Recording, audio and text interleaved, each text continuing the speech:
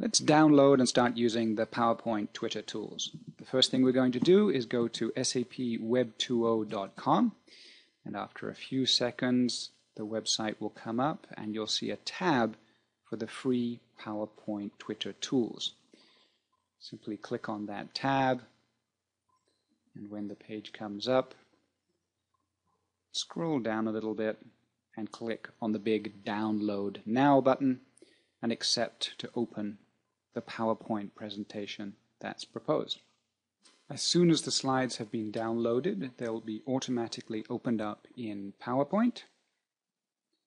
You'll probably see this security warning that macros have been disabled. So you need to click on Options and enable the macros for it to work. Then put the presentation in presentation mode.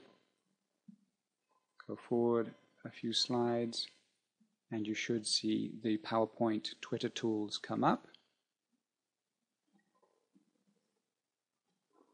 And to use it, you simply put in a search text down here in the lower left-hand window and press enter. And you'll automatically get all of the latest tweets about that search term. It's as easy as that. To go to the next slide, you click somewhere outside the tool, such as in the header. And that's it.